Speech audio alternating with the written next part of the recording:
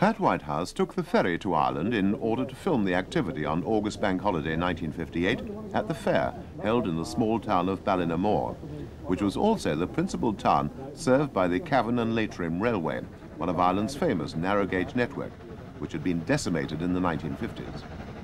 The C&L was the last survivor of this network, as its purpose was to transport coal from the mine at Arigna for use in Ireland's coal-fired power stations. It was to survive another two years, closing in 1960. The mine at Arigna was at the end of the Drumshanbo branch, which left the main line at Ballinamore, where the railway's works were situated. It had acquired a number of engines from other Irish narrow gauge lines, numbers 3 and 4 coming from the Tralee and Dingle.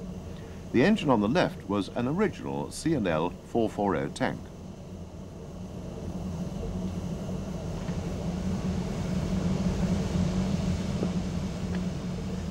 In the station, we see the Arigna branch train, a mixed, waiting for the coal train we saw earlier to arrive. This is headed by Tralee and Dingle number 6T, a Hunslet 260 tank. This would reverse here to go on the C&L main line.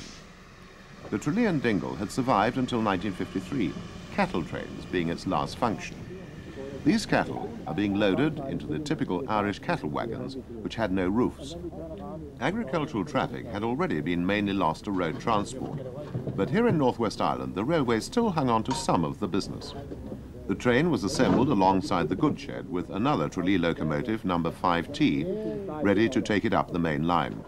This engine was a Hunslet 262 tank. The T in the number was to indicate an ex-Tralee locomotive.